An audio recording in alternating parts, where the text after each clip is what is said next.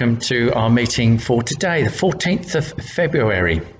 I hope, well, I wonder how many of you got a card today. Um, you wouldn't have got it in the post today, but I wonder how many of you opened a card. And it's, it's a great reminder of love, isn't it? And uh, we're thinking about that in our self denial theme series this year, uh, 1 John. Uh, we've been we looked at that last year week, and we're looking at that again this week. So happy Valentine's Day to you all.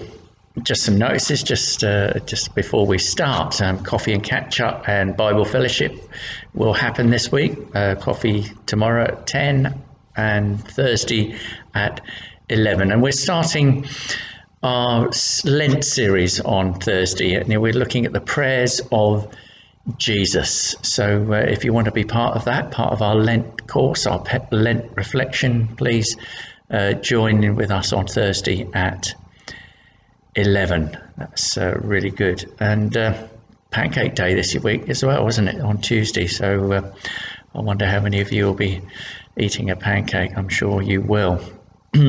just again, just a, another reminder that you can give in um, our gift on the app that comes up at the end. It might just pop up now, uh, but at the end of our meeting as well, if you'd like to give in that way, that would be fantastic. There is a Just Giving page, as I said last week as well. Look out for information on that. Just something that is happening just now. We've started a um, through a connection with Jill through Parkside, the trust that runs the Parkside Pupil Referral Unit, and they uh, they run a couple of others in Ipswich, and we just started helping them out with um, food donations. Um, uh, so that's just something that we're doing each week. But also, if you could just carry on your donations to Find, I know many of you do, and I know how grateful they are and the fantastic work that Find do. And Jill, as you know, is one of our volunteers who help helps with that. That's fantastic and so greatly needed at the moment. And that's how our connection with Parkside, the trust there, because of the great need just at this time. Just one more as well. Safe and sound for everyone. At the moment, I'm looking at all the safeguarding for Ipswich Citadel, and uh, it's something we have to do every three years. And on the Facebook group, which is the private group, uh, I will be posting the Safe and Sound for Everyone film. And I would just encourage you to take a, chance to look at that as well. Please uh, do that. Um, if you do, uh, I need to know if you have, so I can fill in the register of, of people who have uh, looked at that particular film. It is a film, it's a requirement really for everyone in the fellowship to. Um, to at least see that film and just tell me that they've seen it. Um, so thank you uh, for that.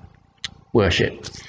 As I say, we're looking at uh, our second week of the self denial. We're actually looking at fear, uh, overcoming our fear, overcoming fear.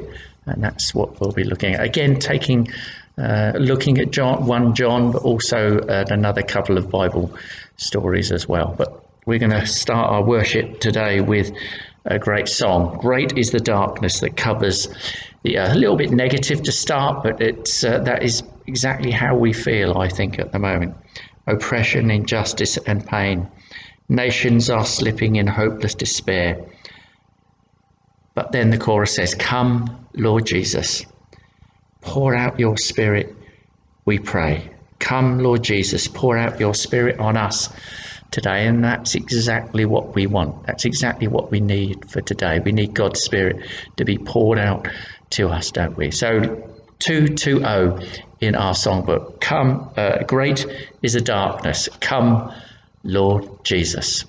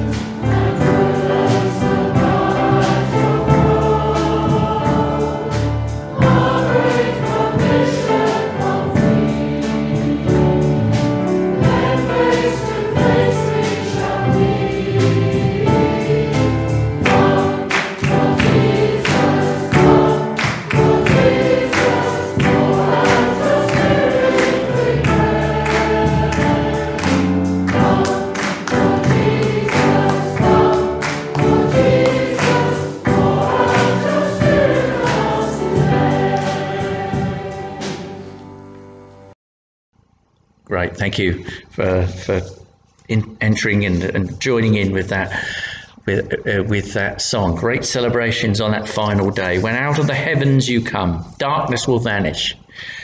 All sorrow will end and rules will bow at your name.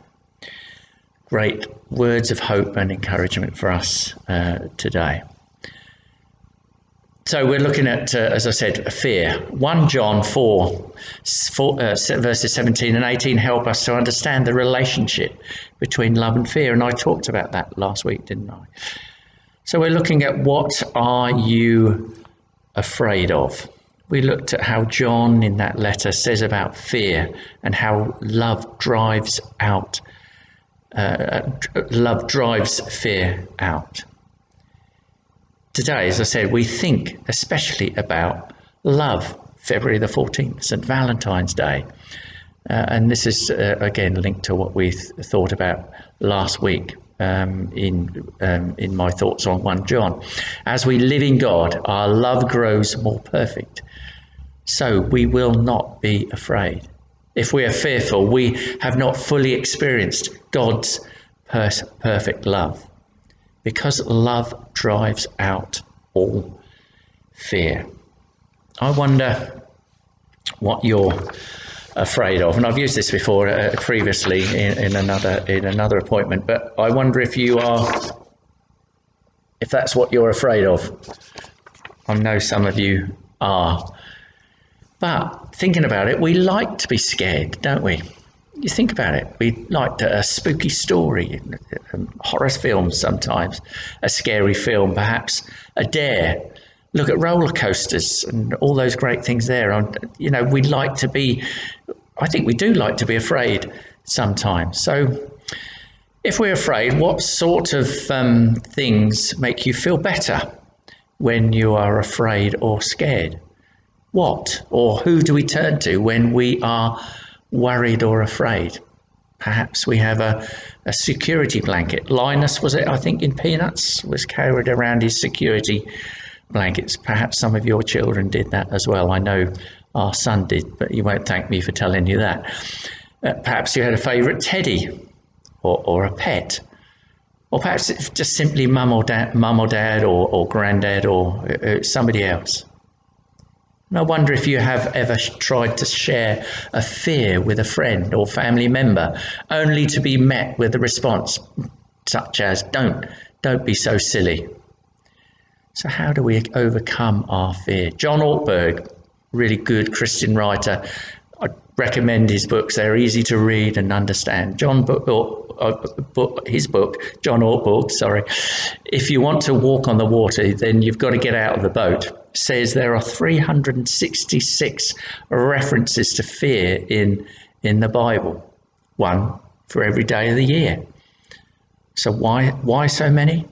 Well, John suggests it's because fear is the number one reason we are tempted to, to avoid what God asks us to do. I'll say that again. John says, because fear is the number one reason we are tempted to avoid doing what God asks us to do. We're afraid of what perhaps God might be wanting us to carry out, or we might be afraid of what other people say. We're going to listen now to uh, Regent Hall Worship Group. And I actually, I don't know this song, but it's, uh, well, I didn't until I saw it. And it's entitled Nobody Loves Me Like You Do, Jesus. That's the title of the song. And I was thinking, about that. It's, it's exactly what we need to hear, isn't it, when we're fearful? And in that, uh, uh, I think if you listen to the song, you'll hear the words, never leave my side. And that's exactly who and what Jesus is. He will never leave us or forsake us. We read that in God's word. So let's listen now to Regent Hall Worship Group.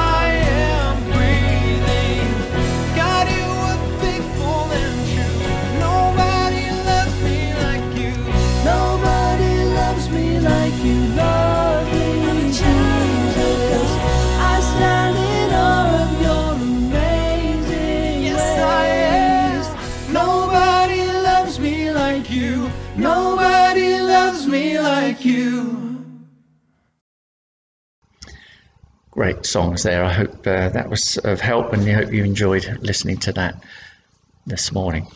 Julia, Julia Partridge now is going to bring us a, a paraphrase, a Bible story based on Matthew chapter 14. A familiar story, so I'll let Julia uh, tell you the story just now.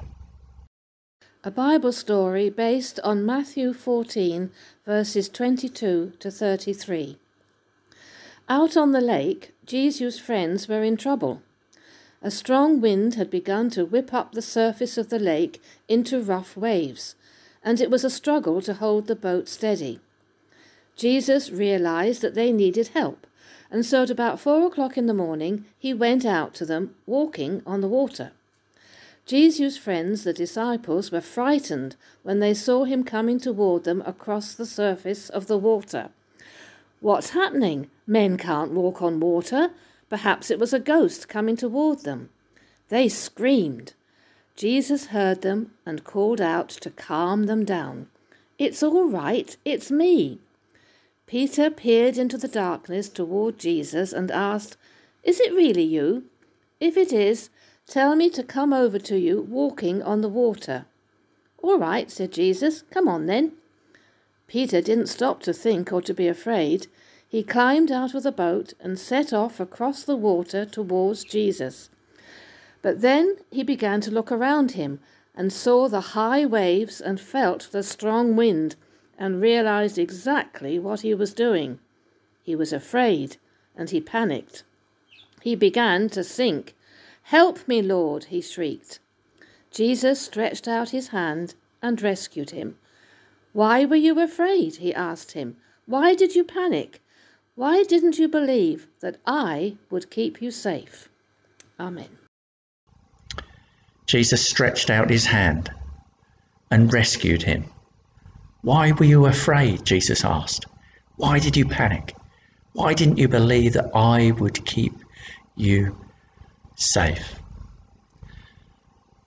ISS, International Staff Songsters, are now going to bring us that lovely song, By His Hand. He leadeth me is the is the other words there, but it made me think that that word, uh, that, that story from the Bible, that Jesus reaching out his hand, by his hand, International Staff Songsters.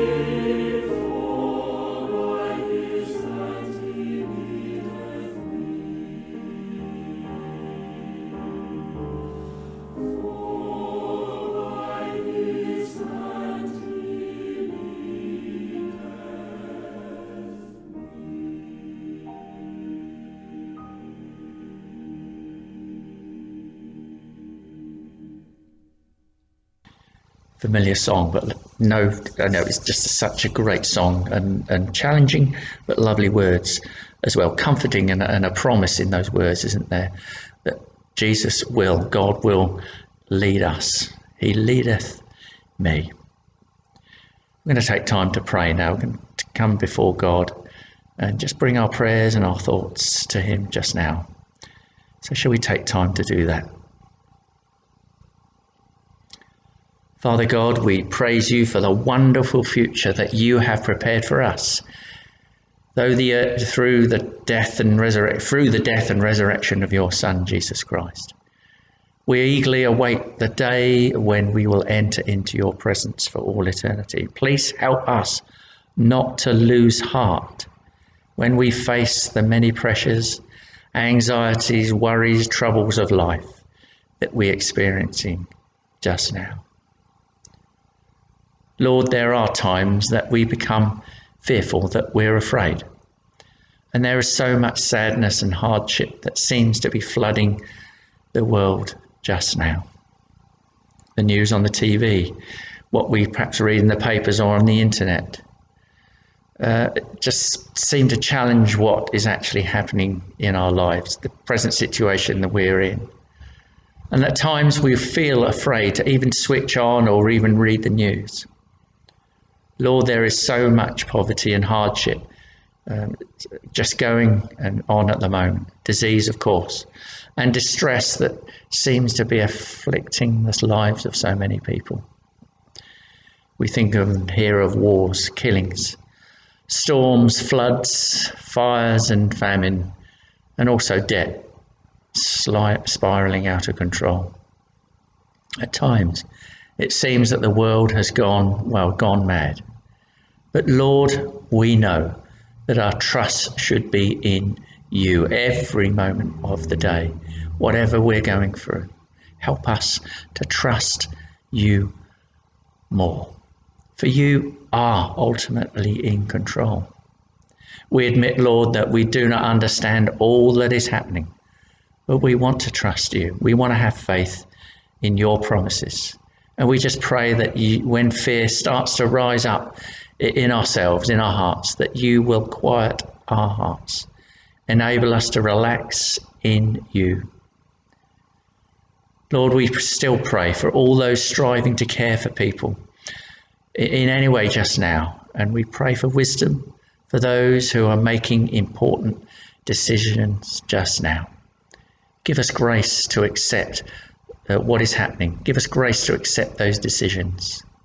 We remember those who are grieving, of course, and pray that they will know your peace just now. Be with everyone who needs you just now, Lord, we pray. We join together in the Lord's Prayer. Our Father, who art in heaven, hallowed be thy name, thy kingdom come, thy will be done on earth as it is in heaven.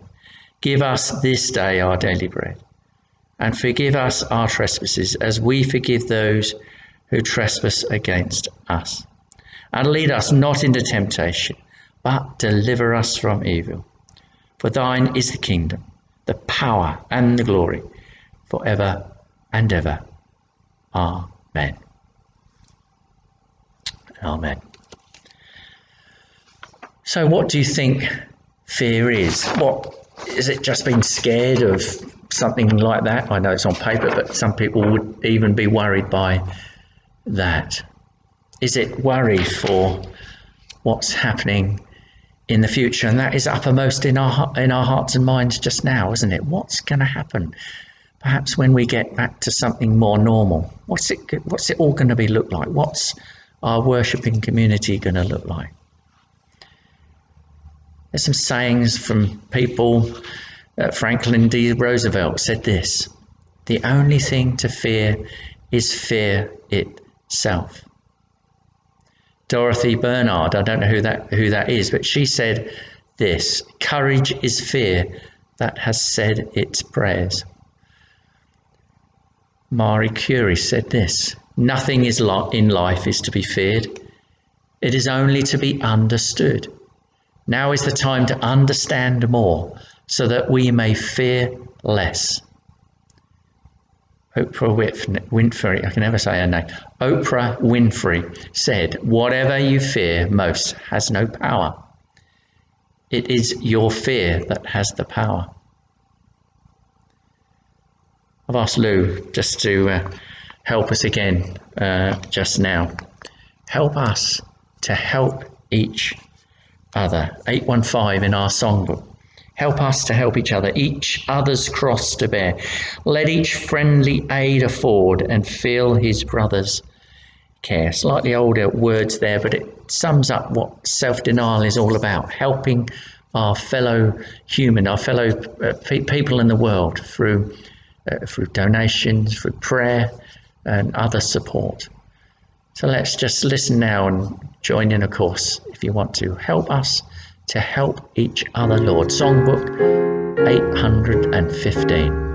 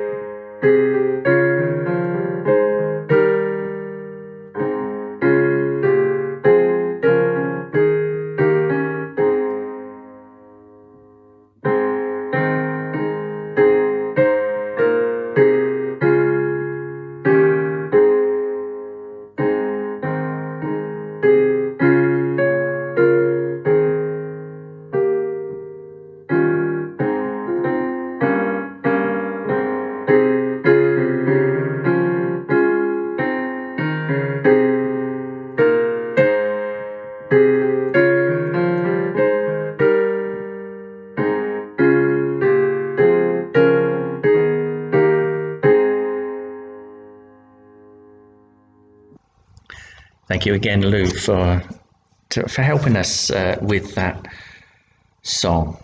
Help us to build each other up.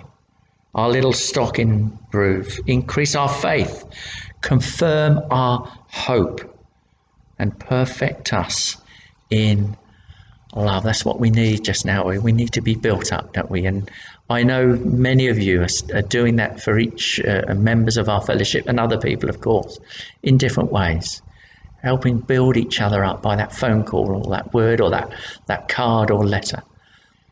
So I thank you for that. And, and it's just such a great thing to do just now. Our second self denial film brought to us by uh, Captain Ben, uh, Captain Ben uh, Cottrell, is, uh, is coming up now. So I just encourage you to look and uh, watch this. Listen to the com- to the commentary if you're not able to see it uh, on online.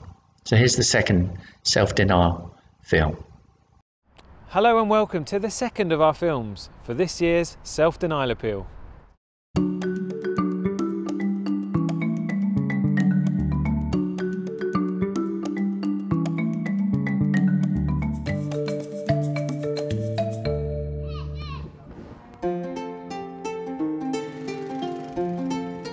This year, we're revisiting some of the people and places we've featured before. In a moment, I'm going to be talking to Nana Togo. Nana presented last year's films from Burkina Faso. She and her husband Andre started the Salvation Army's work there in 2016. They began as just eight Salvationists, but when we visited, there were 182 senior soldiers and 36 junior soldiers from two corps and two outposts. While we were there, we saw 20 senior soldiers and 9 junior soldiers being enrolled. We saw how the Salvation Army has been helping people who are struggling. Women from the local community have learned to read and write, and to sew and to dye cloth. Micro enterprise projects mean these women now are earning enough money to send their children to school. And outreach projects mean some of the local men have started to come along on a Sunday. So I'm going to get in touch with Nana and find out how she and Andre are getting on. Hi, Captain Nana Togo. Nice to meet you. Ça va? Oui, ça va. really good to speak to you. Um, I know your husband, Captain Andre Togo, really well. Um, I've been working Yeah. with him for over a year, but I've never met you, so this is a real pleasure. How are you? How has life been? How was 2020? We are doing well. I'm doing well with my husband and uh, our two kids. Life in uh, 2020 has not been easy. It has been very challenging. But still, we thank God for His grace, which has been sufficient through this uh, difficult time. Can I call you Nana or Captain Nana? Please go ahead. Nana, I understand you and, and, and Andre, you have a new appointment. Have you moved from Burkina Faso now? Yeah, we are in Mali. We are the currently regional secretaries. I'm the regional secretary for women ministry and Andre the regional secretary. But both we have got an additional appointment, co-officers of uh, ACI Mille. How has the pandemic uh, affected the Ministry of the Salvation Army in the region? Because we, when we read the statistics for Burkina Faso and Mali, the, the, the death count is relatively low, but the economic impact seem to be seems from what you're saying is quite large. Is that correct? It is correct. You know, the situation usually it is not easy in Africa, particularly in Burkina Faso, where we have been seeing extreme poverty. And when the, this pandemic of COVID-19 came, the situation became worse. As well in Mali, you know, people don't have access to uh, elementary needs, and it is very difficult. Churches as well have been affected, even schools in all areas. Everybody is affected by this pandemic. The community project we have been uh, working with uh, in Burkina Faso, there were so many with ladies. Most of them, sorry, have been stopped also because of this pandemic issue like juice production, soap making. But uh, we also thank God through the Salvation Army always we manage to still meet some need of the people and we thank God for that. One of the things we've been able to partner with the Mali region on this year is to fund um, uh, with you a project vehicle. Can you tell us the impact the project vehicle has had? We have got so many remote areas in Mali that it wasn't easy at all. But now we are really relieved from that burden of not being able to, to, to visit our communities. At any time the vehicle is moving, even from Mali to Burkina Faso, doing the community work, we are really grateful for that. And and, and what about uh, you, Nana? What have you been learning from 2020 in your own life? people always thought that you know to show love to each other we just have to be together sit together fellowship together and through this coronavirus i have learned that it is not necessary it is not an obligation to be physically present you know to demonstrate your love even though we can be eh, absent physically but in mind through practical actions still we keep that bound, you know, of humanity we share together. Thanks for your inspiration to us in the United Kingdom and Republic of Ireland, and um, God bless you. Okay, thank you very much to you too, Benjamin. And uh, be assured of how our prayer support. We are praying for you day and night. You are in our mind and uh, thought in our heart. May the Lord keep on visiting you individually and as a territory as well. Thanks so much. Bye, Nana. Bye. In next week's film, I'll be talking to Richard Bradbury, who's serving in Bangladesh.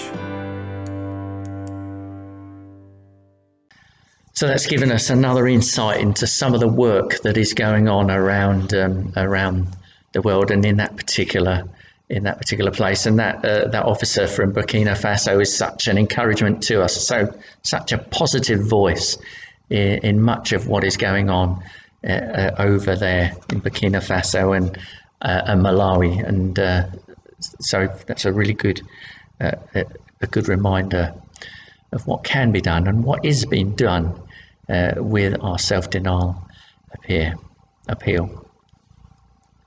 Fear can be worry if we're not careful. Fear can take over our lives. I've said that before. But what we know, and we know that Jesus tells us not to worry. John, John Partridge is now going to read us uh, Matthew 6, verse 25.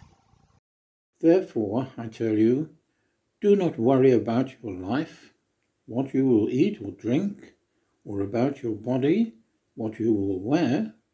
Is not life more important than food, and the body more important than clothes?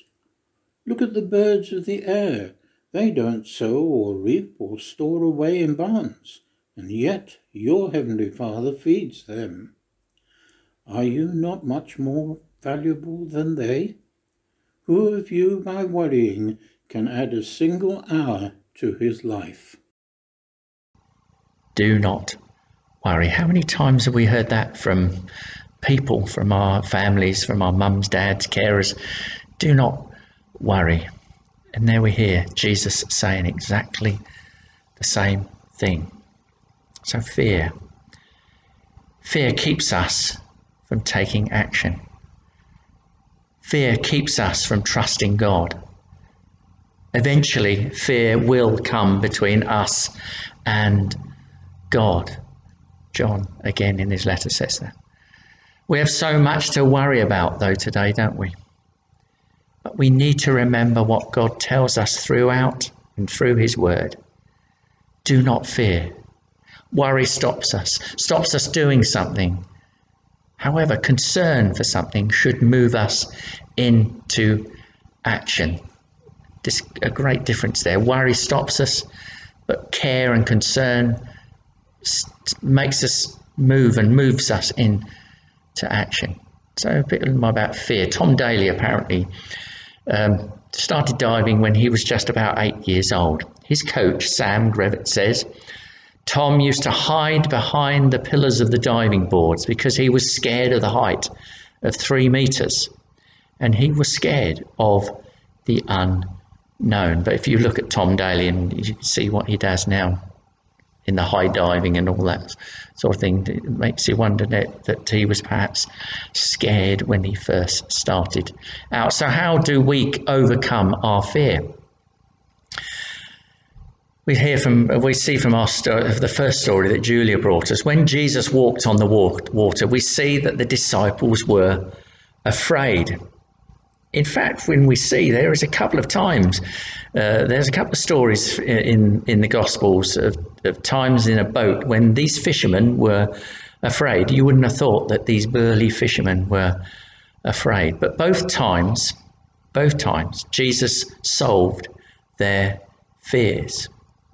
We also see in this account that that, that Jesus came to them. Bit unusual way of doing it, of course, but he came to them when they were afraid. And we can we can get comf- uh, comfort from that, from that promise, and from that that He comes, that Jesus comes to us in the storms of our lives. And we can hear Him, and we hear Him saying to the disciples and to us above those storms, take courage, don't be afraid, trust me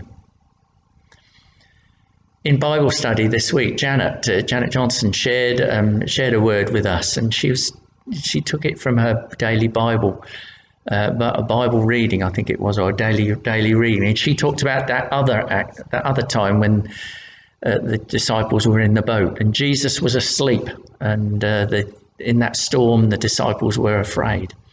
And what Janet said there, uh, it was, what Janet's reading told her, was that Jesus was always with them. He was there with them in the boat. That boat wouldn't have sunk because Jesus was there with them. In the storms and everything that was going on around, Jesus was present with them. And that's what we have to remember, don't we, when we have fears.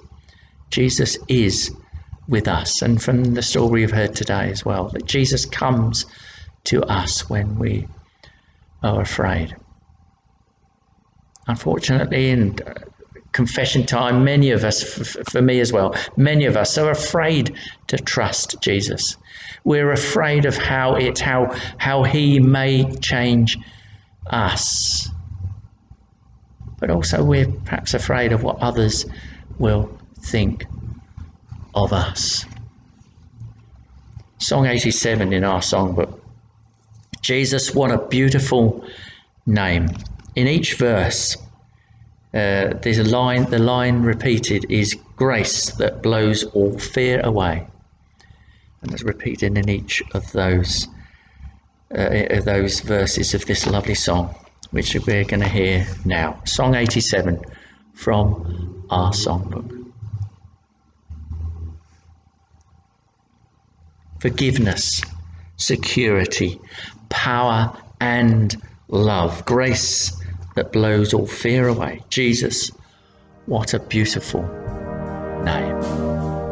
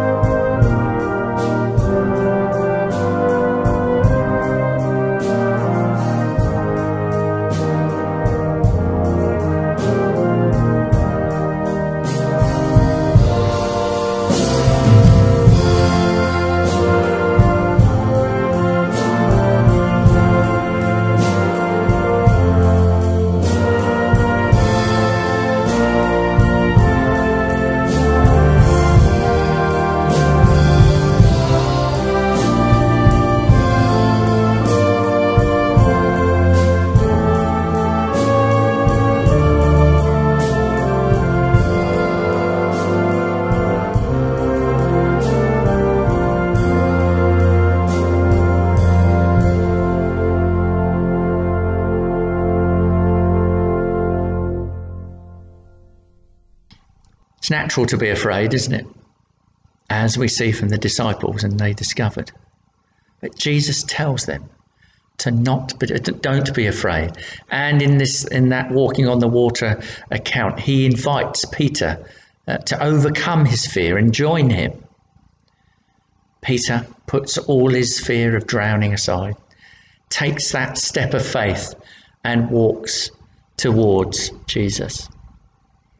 And all the time, Peter keeps his eyes on Jesus. He's able to overcome his fears, any fears he might have had. And he was safe looking at Jesus and going towards him. But we see that when Peter looked away from Jesus and around at the wind and the, the waves, he became afraid, and his fear made him sink. But Jesus did take that step, didn't he? He was the one that got out of that boat to walk towards Jesus. A challenge there, isn't there? Do we, do I, do, I'm going to include myself in here. Do I need, think for yourself, do I need to overcome my fear and take a step of faith today? We sometimes have to go through life storms, but if we look to God, keep our eyes fixed on Jesus, He will offer us protection and He'll take our hand. He'll lead us and help us through them. The songsters, of course, reminded of that, uh, reminded us of that earlier. So is Jesus saying to you? Is he saying to us, "Come and trust me"? Do we need to face our fears, take that step, and do what God is asking us to do? Do we need to do what Peter did and trust in Jesus? As we think about that and reflect on that story, and perhaps um, perhaps what we need to think about today, we're going to listen to the uh, International Staff Band with Aled Jones, and um, they're going to bring us "Make Me a Channel of Your Peace." The last line of the first verse says, "And where there's doubt, true faith in." you. And that's exactly what we need now. Let's listen to this. Make me a channel of your peace. And if you need to pray as you listen to this song, do you need the peace of God of, uh, with you at the moment? Do you want to be a channel of God's peace? Pray about it as we listen to this particular song. Make me a channel of your peace.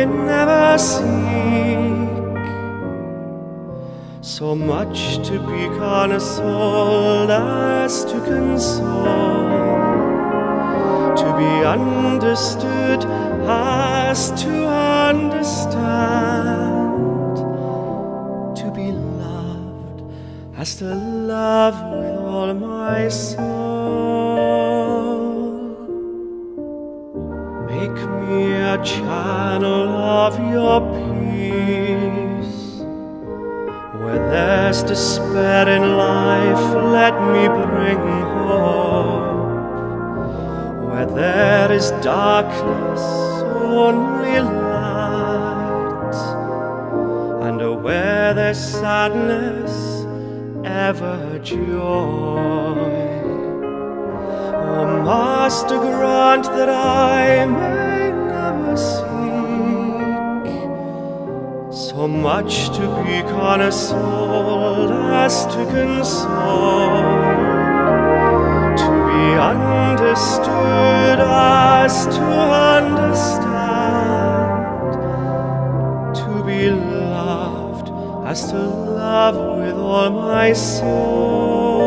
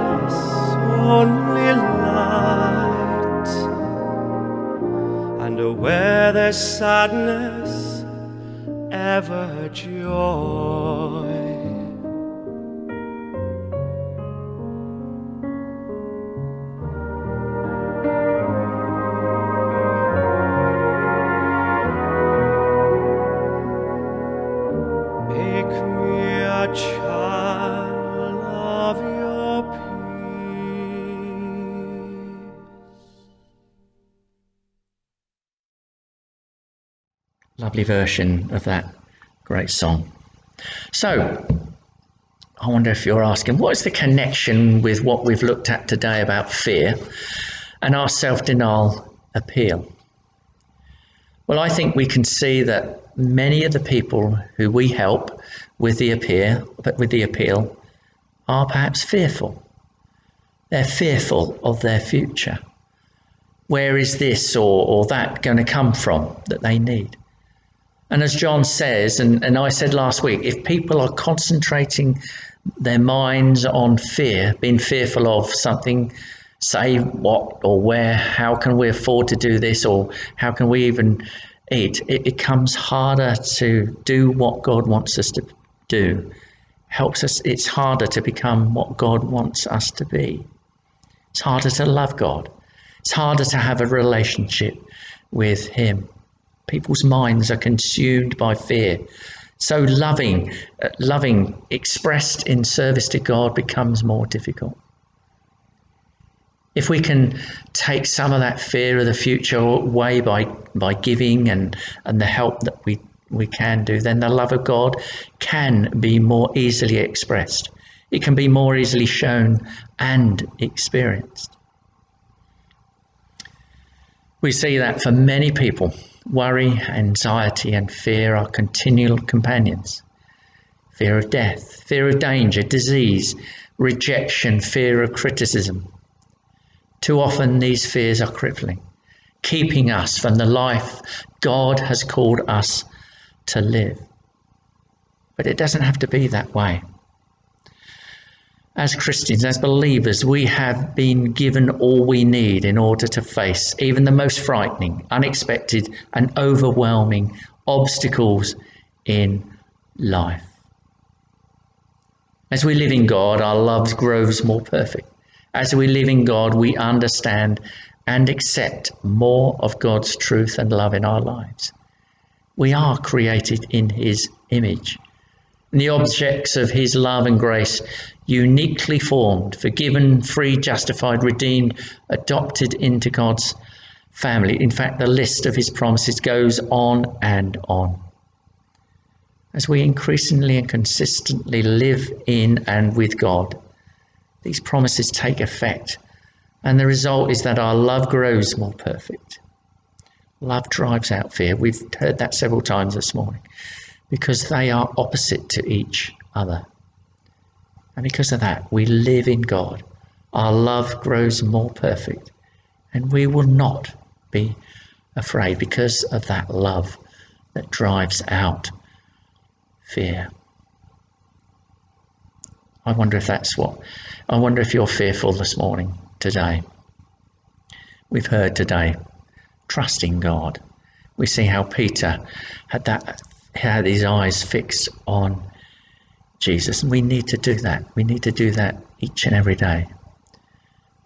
Trust. Fix our eyes on Jesus because he is he is the one who will help us overcome our fears. Shall we pray?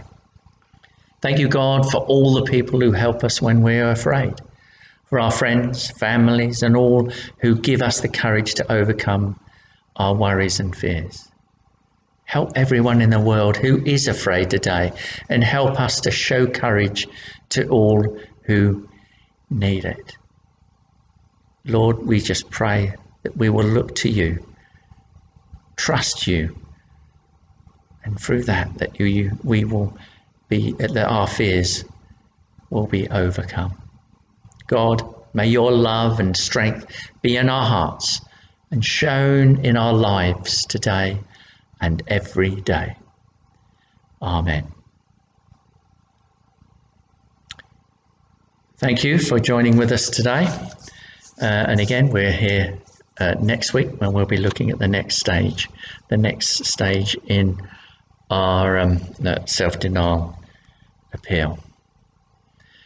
A final benediction based on Philippians 4, and then we're going to sing and join in together with Lord, for the years your love has kept and guided. So, a benediction before we sing our final song today. Rejoice in the Lord always. I will say it again rejoice. Let your gentleness be evident to all. The Lord is near. Do not be anxious about everything, anything, but in every situation, by prayer and petition, with thanksgiving, present your requests to God. And the peace of God, which transcends all understanding, will guard your hearts and your minds in Christ Jesus. Amen. God bless you all.